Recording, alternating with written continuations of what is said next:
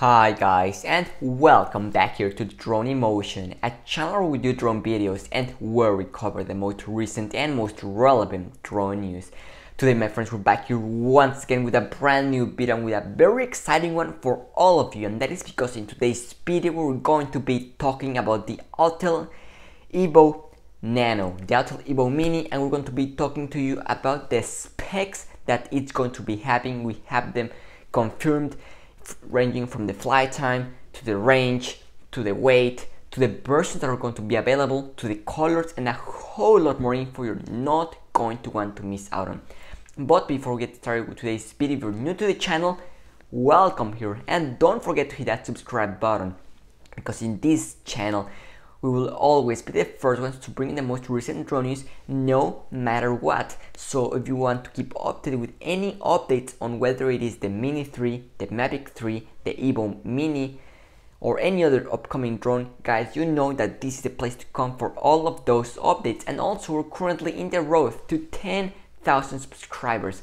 So if you're watching today's video and you're not subscribed yet, well, I invite you to go ahead and join the Drone Emotion family so you can help us get reach to that goal, which we're really not that far away from. We're less than 3,000 subscribers away. So with that being said and without any much further ado, let's go ahead and get started with today's video which is going to be quite exciting. Well, about three days ago we talked to you guys about the Autel Nano which had been leaked and well, just today Autel had, has made an official announcement on their social media including Facebook, Twitter and Instagram and they have revealed to us the Autel Nano. Well, they have kind of tested but they have not fully rebuilt it yet. So let's why don't we just go ahead and take a look at what Autel shared on their social media accounts right here on screen. So there we have it and it says the following.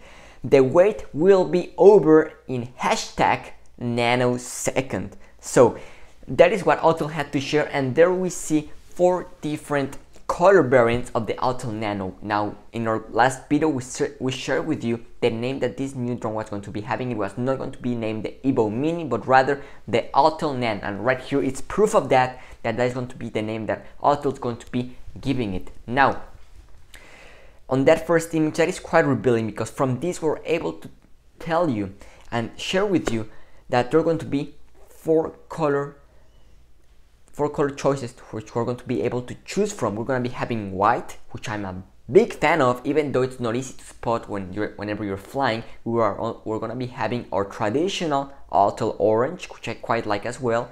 Our our kind of typical DJI gray, which is nice too, and that reddish orange, which look which looks really good. So that was the official announcement made by Autel in their social media. But that's not it. We have a whole lot more info we're gonna go ahead and go through because we have the confirmed specs that the Evo Mini is going to be having. So this means that the Evo Mini or the Autel Nano is going to be releasing I mean really really soon. The fact that Autel teased and said that any second this nano drone is going to be releasing and that means that we could be seeing this month this new drone literally this month. I mean this is right around the corner and as soon as we have the confirmed release date you guys know you're gonna be having having it here first. So make sure you turn on your all those post notifications so you don't miss out on that video as soon as it goes live here in the channel. So let's go ahead and talk about the specifications that this new Autel Nano is going to be having. So the first thing that we know is that this drone is going to be weighing under 250 grams. So that's something that we already knew and this is going to be a direct competitor to the DJI Mini 2, the Zino Mini Pro and the Zino Mini SE. So that's good news. And with all of those regulations getting stricter, we know that more companies are going to be pushing drones which are going to be weighing under 250 grams. Now what else do we know? Well, we know that this drone is going to be highly portable. It's going to have a smart flight feature. So you can expect to have your active track and all of those modes that we have come to love with DJI drones. It's quite likely that Autel is going to be incorporating all of those in this new Autel Nano. Well, what about flight time? What will it be? Well, unfortunately, it's not going to be as impressive as I thought it was going to be. The flight time for the Autel Nano is going to be 30 minutes. That's going to be the flight time on paper of the Autel Nano. Probably in real life, you're gonna be getting between 24 and 26 minutes of actual flight time. So it's not bad. It's basically the same flight time that we have with the DJI Mini 2. Pretty much the same. What about range? Well, the range is also going to be really good. In fact, we thought that it was going to be a Wi-Fi transmission system, but not guys, don't worry. We're going to be having a really good transmission system with this new Autel Nano. In fact, it's going to be able to provide a maximum range up to 10 kilometers which is equivalent to right around 6 miles, which is basically the same range that we also have with the Mini 2 from DJI, which uses OcuSync 2.0, which is really good. And well, we have two different options which we're going to be able to choose from.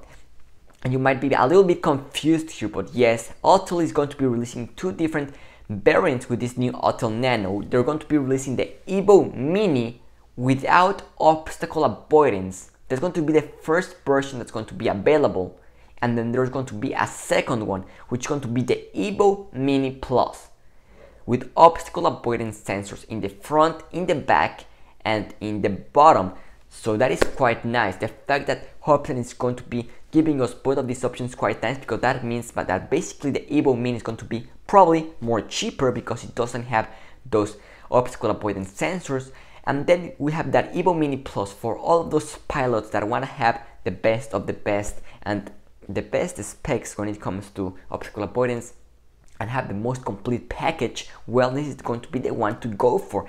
Obviously, it's going to be a bit more expensive, but it's nice that Autel is giving us both of these options.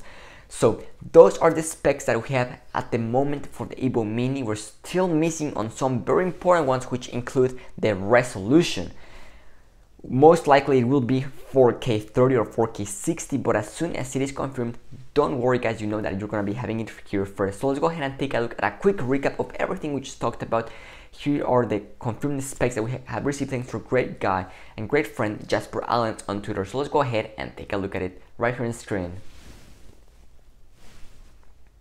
So that is all the specs that we have uh, confirmed so far on the Evo Mini.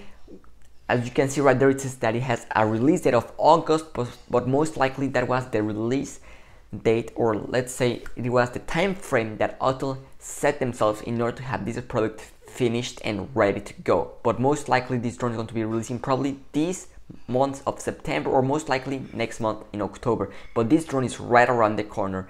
As soon as we have any more information guys don't worry you know you're gonna be having it here first. That's everything that we have so far. Thanks so much for watching and see you tomorrow with a brand new video. Drone Emotion, signing out.